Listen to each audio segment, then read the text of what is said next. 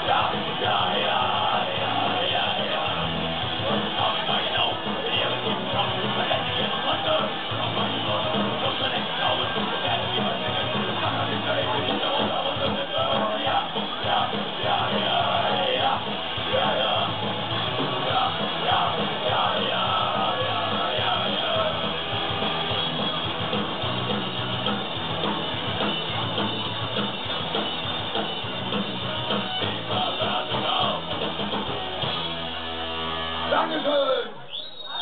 Viel Spaß noch mit Sturdy und den Traffic-Alter.